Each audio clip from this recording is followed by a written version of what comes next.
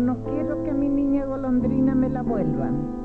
Se hunde volando en el cielo y no baja hasta mi estera. Como maestra, ¿no es cierto? Como, como pedagoga, como madre vicaria y como amante dolorosa. Eran como las dos grandes vertientes de lectura y Mistral era mucho más que eso.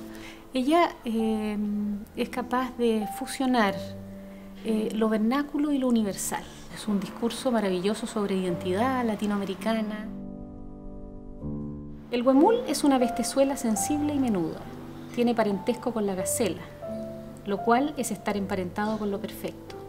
Su fuerza está en su agilidad.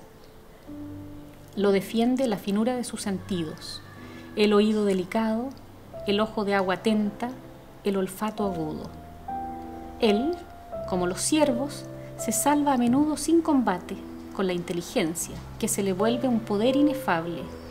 Delgado y palpitante, su hocico, la mirada verdosa de recoger el bosque circundante. La prosa de Mistral es siempre una prosa poética, que también podríamos calificarla de ensayo poético sobre el tema de la modernidad desde una perspectiva, yo diría, un poco distanciada y crítica, temas eh, políticos en el sentido más amplio de la palabra, eh, en donde está el indigenismo, en donde está el tema de la pobreza, en donde está el tema de la identidad latinoamericana.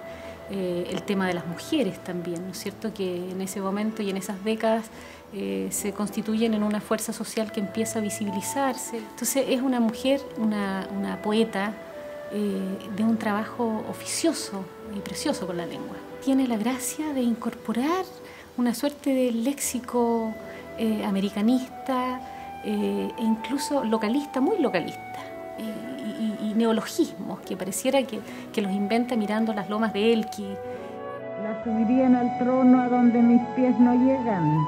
Cuando viniese la noche yo no podría mecerla.